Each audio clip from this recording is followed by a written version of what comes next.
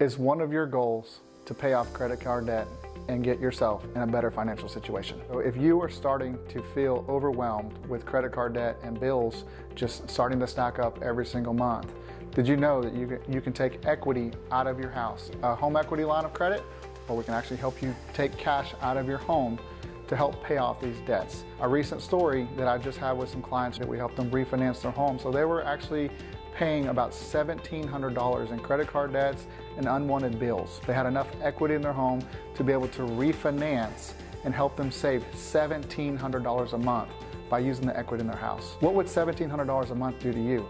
What would that do for your family? So if this is you and you're starting to see these bills start to rack up and you're needing some help or some guidance, reach out to our team. Our team is happy to help you. I would look forward to helping you restructure your debt this year. It's my goal and my mission to help people be more financially set, and I want to help you do that this year.